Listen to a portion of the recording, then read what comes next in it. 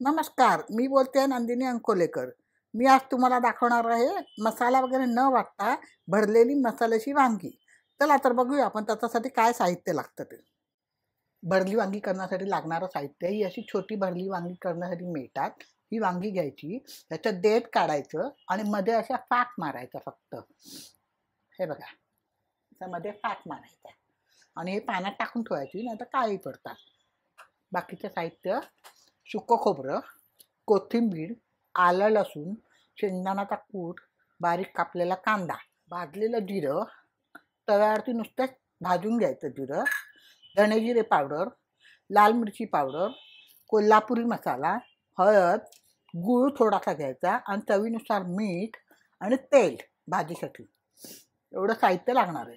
आता आपण ना सुकं खोबरं असतं ते ना भाजून घ्यायचं आपण. गॅसवरती नुसतं असं. ते तुम्हाला मी दाखवतो आता. ते नुसतं भाजून घ्यायचं नंतर किसायचं आणि जिरा आणि सुकं खोबरं एकत्र मिक्सरमधून भरड करायची. चला आता बघूया आपण पुढचं. लावलं आहे मी. सुकं खोबरं असं नुसतं गॅसवर भाजून घ्यायचं. थोडं सांभाळायचं. बारीक गॅस ठेवला तर हरकत नाही. तर दो सगळ्या बाजून व्यवस्थित भाजून घ्यायचं. अशा रीतीने सगळं भाजून घ्यायचं व्यवस्थित. थंड होऊ द्यायचं आणि जरा झटकून घ्यायचं ते.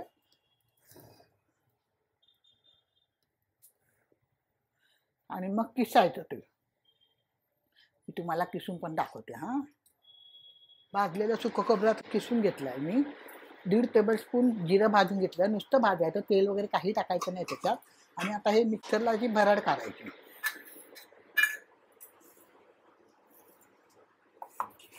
दाखवते तुम्हाला मी भरड. ची भरड काढून घेतली आहे मी खोबरं आणि जिरं वाटून. आणि हे अशी डब्यात काढून ठेवली ना तर तुम्हाला आमटीमध्ये वांग्या बटाट्याची नुसती भाजी करून करता येईल तर त्याच्यामध्ये टाकायला खूप छान लागतं. चला आता आपण पुढचे सगळे मसाले मिक्स करूया.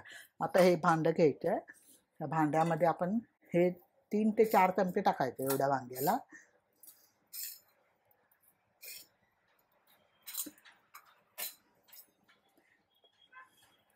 शेंगदाण्याचा कूट टाकायचा.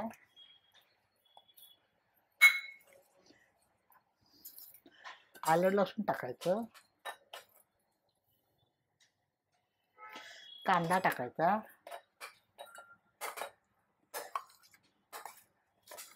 हा मसाला वाटायचा नाही आहे न वाटता भरली वांगी करायची आहे.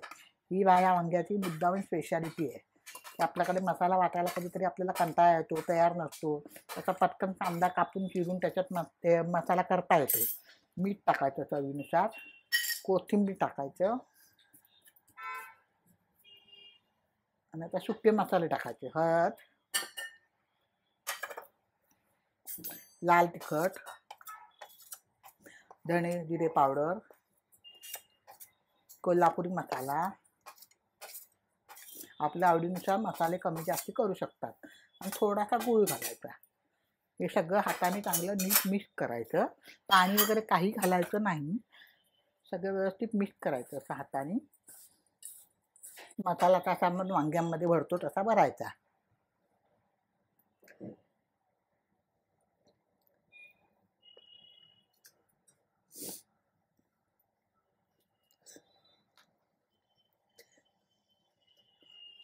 अशा रीतीने सगळी वांगी आपण भरून घ्यायची. वांगी अशी भरून तयार झाली आहे आणि हा राहिलेला मसाला आपण तेलात टाकायचा. चला तर आपण आता गॅसकडे जाऊया. कढई तापत ठेवली मी. गॅसवरती तेल टाकायचं. तेल जरा जास्ती टाकलं तर चांगली लागते मसाल्याची भाजी. त्याच्यामुळे थोडंसं तेल जास्ती टाका. तेल तापलं की त्याच्यामध्ये ना म भ पहिली भरलेली वांगी टाकायची आपण.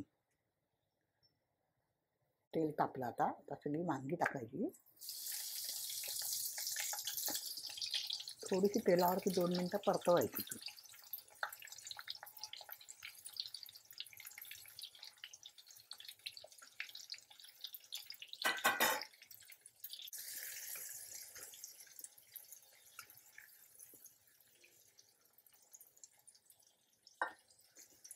दोन मिनटं तेलावरती होऊ द्यायची आपण काढून बघूया.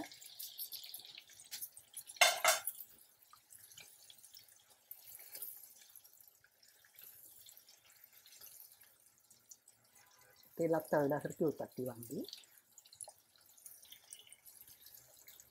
आता याच्यात हा राहिलेला सगळा मसाला टाकायचा.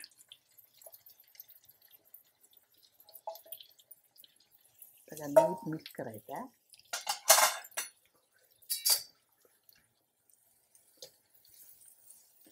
जर तुमच्याकडे कोल्हापुरी मसाला नसेल ना तर गोडा मसाला टाकला तरी छान होते. तुमच्याकडे जो मसाला असेल तो तुम्ही टाका. नीट मिक्स करायचं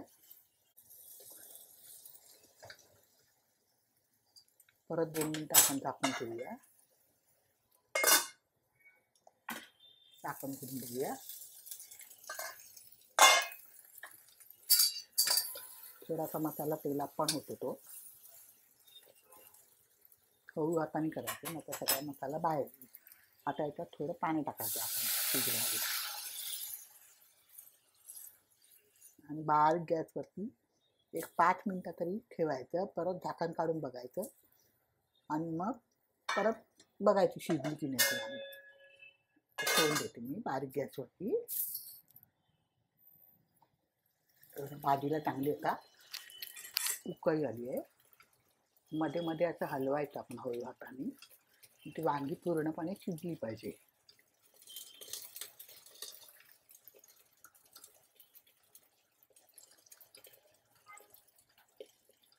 खूप छान होते ही भाजी. तुम्ही करून बघा. माझ्या चॅनलवर नवीन असाल तर सबस्क्राईब करा लाईक करा शेअर्स करायला विसरू नका. प्लीज तुमच्या कॉमेंट्स कळवा. बघा. परत दाखवून ठेवायची आपण थोडा वेळ. आणि उकळी आली. आपण वांगी ते बघूया.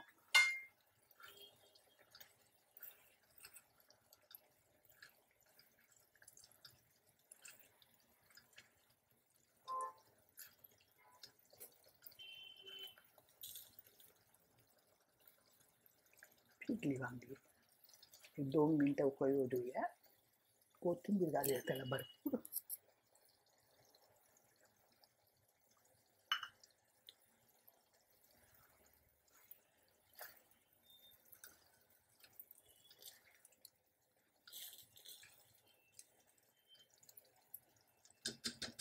झाली आपली भरली वांगी.